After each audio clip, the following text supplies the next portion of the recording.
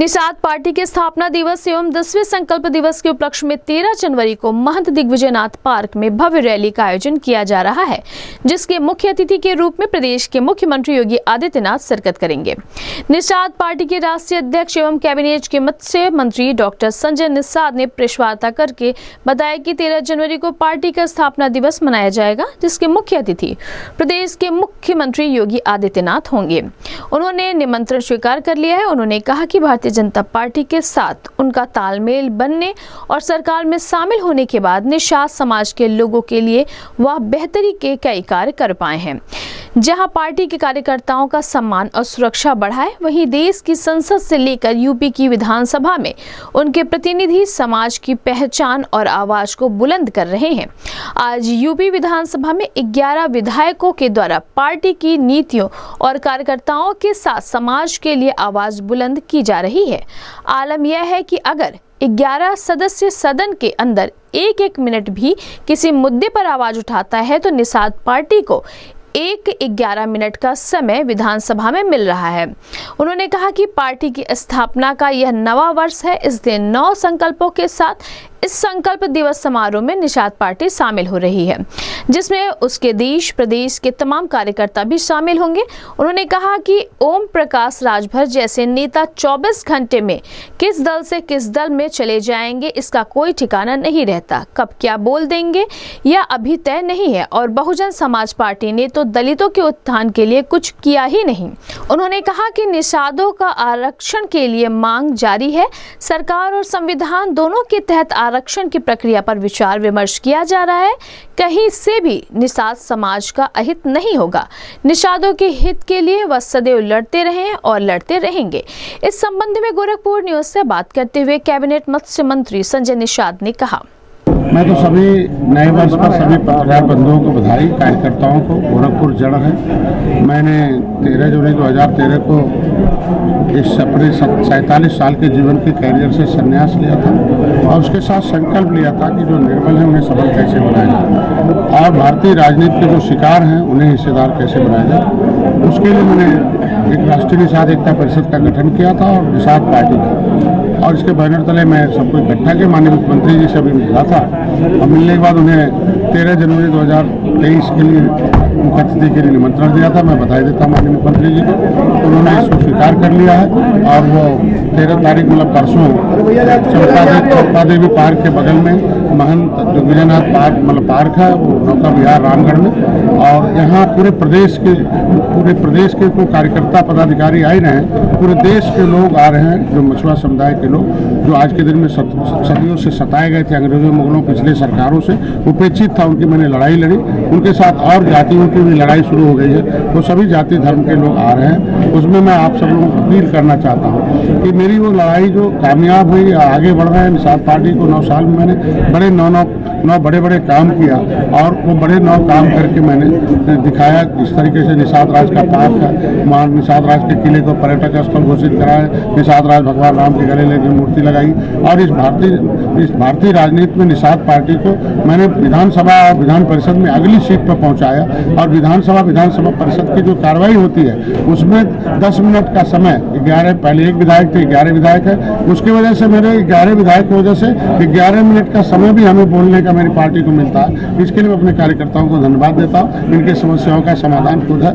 यही बताना था आपसे उस दिन तेरह तारीख की अपील है कि सभी पत्रकार बंधु, यहीं से मेरी जड़ है, यहीं से शुरुआत हुई है। आपके गोद में आपके प्यार और स्नेह मार्गदर्शन के आगे बढ़ा है। तो पुनः आपके सहयोग की अपेक्षा है कि तेरह तारीख को कड़कती धूप में जो हमारा समुदाय है उसके साथ ही साथ पार्टी के लोग आ रहे हैं, महिलाएँ, पुरुष, नौजवान लाखों की संख्या में आएँगे। तो उनका जो मैसेज है, उनका जो कवरेज है, उनकी शक्ति का जो प्रदर्शन है, उन्हें मनोबल बढ़ाने के लिए, इस कार्यक्रम को सफल बनाने के लिए तेरह तारीख को हम चाहते हैं ग्यारह बजे से शुरू हो, दस बजे से रात में लोग आ जाएँगे। तो दस बजे से कार्यक्रम शुरू होगा, शाम को पाँच बजे तक। आप अपने समय अनुसार और जगह जगह को अपनी इस बार खुशहाली उनकी ये है कि पहले क्या था कि हम सड़क पर आंदोलन करते थे तो पहले गोली ठंडक में चल के हर ज़िले में जा रहे हैं, आ रहे हैं। तो मैं यही कहूँगा कि तेरह तारीख को माननीय मुख्यमंत्री जी, मुख्य अतिथि होंगे।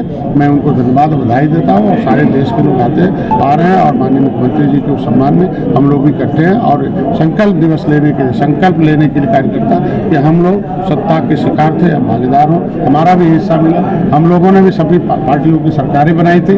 हमारा लेकिन उपेक्षित था, सभी ने हमारा वोट लेके ठगा, लेकिन आज कार्यकर्ता रीढ़ की हड्डी है और कार्यकर्ता ही पार्टी को खड़ा और बड़ा किया है, इसलिए उनको मुख्य कार्यकर्ताओं का भी सम्मान होगा। आज के दिन में यहाँ के, आज हमने यहाँ के बुद्धिजीवी जो है, प्रबुद्ध लोग हैं, उनका आज एक बैठक है, उनका एक सम्मान समारोह रखा है और आरक्षण संबंध विषयक है और उस पर आज इनको डिटेल में बताया जाएगा कि आरक्षण की लड़ाई हमने कहाँ तक पहुँचाई है, सड़क से सदन तक, कि पहली बार है, माननीय मुख्यमंत्री जी ने इस आरक्षण के मुद्दे को दिल्ली लिखकर भेजा कि केवट मल्ला मझवार अनुसूचित जात का हकदार है और आरजीआई से मार्गदर्शन दिशा निर्देश और मार्गदर्शन मांगा। आरजीआई ने इनकी चीज़ को सामाजिक न्याय मंत्रालय को मूव किया। सामाजिक न्याय मंत्री ने एक्सेप्ट कर लिया। मझवार हमारे पास उन्नीस सौ पचास से है और इनकी सभी कम्युनिटी के मेंबर को इनको अनुसूचित जात मिलना चाहिए। उसके लिए प्रधानमंत्री, गृह मंत्री और माननीय नड्डा साहब और मुख्यमंत्री जी ने इस पर आश्वस्त किया कि हमारी समस्याओं का समाधान जल्द होगा। तो आज के दिन में इनके कार्यकर्ताओं का समायोजन है। तमाम ढेर सारी चीज़ें। तो नौ बहुत बड़े बड़े काम हमने नौ साल में करके दिखाया है और इनको सत्ता में पहुँचाने का काम किया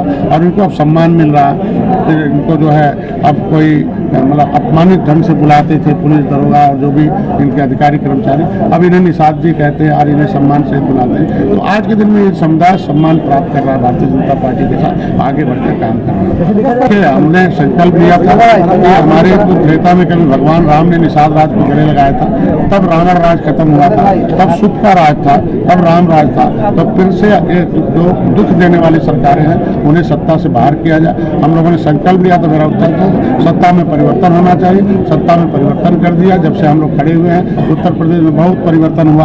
कांग्रेस सपा बसपा सत्ता से आज के दिन में एक मिनट उसको पूरा हो जाने दीजिए। तो आज के दिन में हम अब सत्ता हमारे सहयोग से भारतीय जनता पार्टी आई है। तो अब संकल्प भारतीय जनता पार्टी से हम भाई हैं बड़े भाई हैं उनसे हमारा जो हिस्सा बनता है वो मिले। और इनको संकल्प है कि reach the voter treat the voter मतलब एजुकेट द एजुकेटेड पर्सन हम पढ़े लिखे लोगों को राजनीति पढ़ाएँगे क्योंकि the political power the strong in the god राजनीतिक शक्ति, भगवान की शक्ति से साथ मैं उन्हें संकल्प है कि every problem solve the political party in the democracy सभी समस्याओं का समाधान राजनीतिक दल से ही संभव है। तो ऐसे में इन्होंने संकल्प है, हमने प्रोग्राम बनाया रीच द वोटर वोटर के पास जाना है, और वोटर सदियों से बेहोश है। अंग्रेज़ों मुगलों ने गरीबी, लाचारी, बेकारी, इनका शिक्षा से कोसों दूर रखा, इनको सताया। तो आज के दिन में बहुत दूर है तो कम से कम कि पोलिटिकली कॉन्शियसनेस है वहाँ वोटर के पास जाना, उन्हें होश में लाना उन्हें जोश में लाना और उन्हें सही बात पढ़ाना है कि भाई राजनीति में क्या राजनीति तुम्हारा भाग्य लिखेगी? तुम्हारा voter the real god is voter voter ही असली भगवान है जिनका साइनिंग अथॉरिटी है। प्रधान से लेकर प्रधानमंत्री तक चुनता है। अपने भाग्य विधाता हो तो ऐसे जगह वोट डालो कि जिससे तुम्हारा भाग्य लिखा जाए। इस बात का संकल्प नहीं दो हज़ार चौबीस में भारतीय जनता पार्टी के विरोध में सभी पार्टियाँ एकजुट हो रही हैं और किस तरह से मुंहतोड़ जवाब देके भारतीय जनता पार्टी की नैया को पार करेंगे? देखिए जो कार्ड डिस्चार्ज हो जाता है राजनीति में। और जिसका कार्ड डिस्चार्ज हो, फिर से जनता से चार्ज नहीं करती। 2014 से उल्टी गिनती शुरू हुई 2017 में उल्टी गिनती हो गई 2019 में हो गई। 2019 में इकट्ठे हुए थे बड़ी पार्टियाँ, जिनकी 30 साल से सत्ता थी। लेकिन मछुआ समुदाय मोदी जी योगी के साथ खड़ा हो गया। तो देखिए क्या ऐतिहासिक जीत मिली थी 2019 का 2022 में। भी देखिए उन लोगों ने क्या किया। और आज हम खड़े थे, सैंतीस बरस बाद दोबारा जनता ने हमारे पर विश्वास किया। हम लोग जनता के लिए काम करते हैं। हम जनता के उस योजनाओं को धरातल फैलाने लाने के लिए हमारी सरकार का तो हमारे काम पर हमारे उस गुड गवर्नेंस पर हमारे इस ज़ीरो टॉलरेंस पर इस पर जनता ने विश्वास किया है। तो जनता हमारे साथ है तो पार्टियाँ एक साथ हो से कोई फ़र्क नहीं पड़ता। आपके पार्टी बीजेपी बीजेपी के नेताओं पर कटाक्ष करते नज़र आ रहे हैं। उनका धर्म बनता है उनका धर्म बनता है विपक्ष का। वो विपक्ष के नेता हैं उनका दायित्व बनता है उनको अधिकार बनता है। लेकिन मैं चाहूँगा कि जो भी बात हो मर्यादित हो। जो भी काम हो वो लोकतांत्रिक हो। मैं कहता हूँ उसको अपनी सरकारों के समय भी देख ले कि किस तरह मंत्री जी पिछली बार जो संकल्प आपने लिया था उसमें अपने खून से मांग की थी। इस बार क्या संकल्प ऐसा कुछ लेंगे जिससे आपको आरक्षण दे सकता उस, उस खून ये जो निषाद राज का खून है, वो राजपाट का खून है। और उस संकल्प का देन है कि आज इनकी वकालत करने के लिए मैं आज के दिन में उस विधानसभा की अगली सीट पर विधान परिषद और विधानसभा में बुझाता हूँ। उस संकल्प की देन है कि सत्तर साल में हम उन्नीस सौ इकसठ से केवट मल्ला में मझवार गिनते थे, सत्तर हज़ार थे। और उन्नीस सौ इक्यानवे में हमारी उस जाति को पिछड़ी जात में गलत से ढंग और कोर्ट ने कहा कि नहीं, ये मामला दिल्ली होगा। वो संकल्प दिन है कि कोर्ट ने कहा कि दिल्ली से होगा और ये मूर्ख बनाने वाला काम, निषादों का काम हो जाए। आज के दिन में पहली बार है सत्तर साल में कि जो संकल्प मैंने लिया था, माननीय मुख्यमंत्री जी ने उसे लिखा और दिल्ली भेजा और दिल्ली दरबार उस पर काम कर रही है। तो सत्तर साल का मामला उलझाने में, सुलझाने में है। तो अभी इस बार संकल्प है कि अपने काम को करा लीजिए और सरकार को सरकार के साथ रहिए और सरकार ही देगी चाहे दिल्ली दे चाहे उत्तर। मोदी ही करेंगे योगी ही करेंगे इसलिए मोदी जी योगी के साथ रहिए अपने वोट को इकट्ठा ओम प्रकाश राजभर लगातार पहले आपका समर्थन करते रहे हैं और आपको मित्र बताते रहे लेकिन अब लगातार देखा जाता है कहीं ना कहीं यहाँ पर कटाक्ष करते हुए देखे जाते हैं क्या कहेंगे उनको? देखिए ओम प्रकाश राजभर भैया है अब कभी उन्होंने हमारे खिलाफ कोई शब्द नहीं बोला। और देखे हैं भैया से हमेशा उम्मीद हम यही रखते हैं कि मर्यादित रहे और ये सुबह किसी के साथ दोपहर को किसी के साथ शाम को किसी के साथ बंद हो जाए। अब कोई सुबह कुछ और बोलना दोपहर को कुछ और बोलना शाम को कुछ और बोलना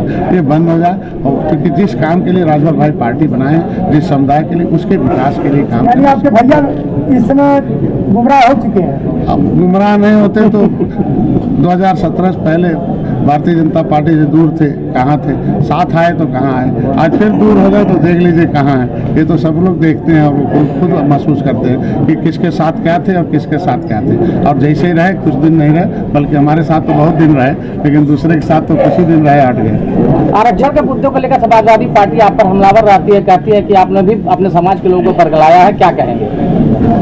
सब हमारी जनता होशियार हो गई मेरी एक सेना है। वो त्रेता वाली जो भगवान राम रावण राज खत्म करने वाली सेना है हमारी सेना है, वो सेना ट्रेंड सेना कैडराइट किसी बड़े चीज़ को प्राप्त करने के लिए अनुशासित कार्यकर्ता और सशक्त संगठन की ज़रूरत है। तो मेरा संगठन सशक्त है और अनुशासित कार्यकर्ता। वो सारे अनुशासित कार्यकर्ता पूरी जनता में बता चुके हैं कि तीस साल से तुम्हारा वोट ठगा। तुम्हारा, जब उत्तर प्रदेश सरकार को पावर नहीं था कि अनुसूचित जात कर सकते हैं तो हमारे नाम को क्यों पिछड़ी निकाला, अनुसूचित डाल दिया? और लटका के बा- बहन जी एस लेती थी ये निकालते थे। निकाल के हमारे नोटों नौकरियों पर डकैती डाला। उसकी देर है सामाजिक न्याय समिति का रिपोर्ट कहता है कि कौन ज़्यादा बेईमान है, कौन ज़्यादा धोखा दिया है। वो सामाजिक न्याय समिति का रिपोर्ट आसानी से ये दोनों सपा और बसपा के पोल को खोलता है कि जब भी जाइए किसी थाने पर जाइए, किसी विभाग में जाइए तो पता चल जाता है कि निषादों को कितना नौकरी मिली, निषादों को कितना सम्मान मिला। यही सरकारें थी। हमारे समाज को, हमारे समाज को पट्टा पट्टा हमारा समाज कमाता था सरकार को चुकाता था। आधा बचता था आधा पेट खा के इनकी सरकार बनाता था। अब हमारी अब हमारी सरकार इन्हें जो है फ्री में बीमा है अनुदान दे रही है मुख्यमंत्री संपदा योजना निषाद राज बोल रहा मछुआ कल्याण कोष की स्थापना करके इनके बच्चों को पढ़ाना लिखाना और इनको रोज़गार की तरफ़ लाना। अब इनके बच्चों को भी आई एस पी बनाएँगे। तो पहली बार हमने इनके लिए कोष को इकट्ठा किया। पहली बार इनके लिए कानून बनाया तो सरकार हमारा समाज जान गया किसके साथ रहने यानी समाजवादी पार्टी के लोग अनु- अनुशासित ही अनुशासनहीन है और कहीं ना कहीं अनुशासन उनके अंदर नहीं है। अगर अनुशासन रहता है तो सबका साथ सबका विकास का नारा बसपा ने दिया। इन्होंने समाजवाद का नारा दिया तो काहे नहीं सभी लोगों का बात हुआ? सबके बच्चे क्यों नहीं नौकरी में आ गए? सबके लोगों को क्यों नहीं अवसर दिया गया? हमारे नेता को बोलने के लिए इजाज़त लेनी पड़ती थी लोगों को सपा बसपा कांग्रेस से। लेकिन आज भारतीय जनता पार्टी ने कहा नहीं निषाद पार्टी हमारी भाई है इनका इनका झंडा भी रहेगा जय निषाद राग का झंडा भी रहेगा ये जाएँगे और अपने समाज की आवाज़ विधानसभा में उठाएँगे और उसके यानी निषाद पार्टी जिसके साथ रहेगी नैया उसी की पार लगेगी। तो देखो कांग्रेस का बटन छूना बंद कर दिया कहाँ चले गए हाथी छूना बंद कर दिया कहाँ चले गए? इनसे दोस्ती तोड़ लिया साइकिल से कहाँ चले गए? तो ये तो त्रेता बीजेपी भी आपकी बात अगर नहीं मानती है बीजेपी का साथ अगर छोड़ेंगे तो भी गर्द में जाएगी? तो मैं देखो आज मैं साथ नहीं छोड़ा था दरवाज़ा बंद कर दिया था सपा ने। और दरवाज़ा बंद करने के नाते मैं वहाँ से आया था। और हमें उम्मीद है कि कभी भाजपा हमारा दरवाज़ा नहीं बंद करेगी कहीं जाने की कोई ज़रूरत नहीं। धन्यवाद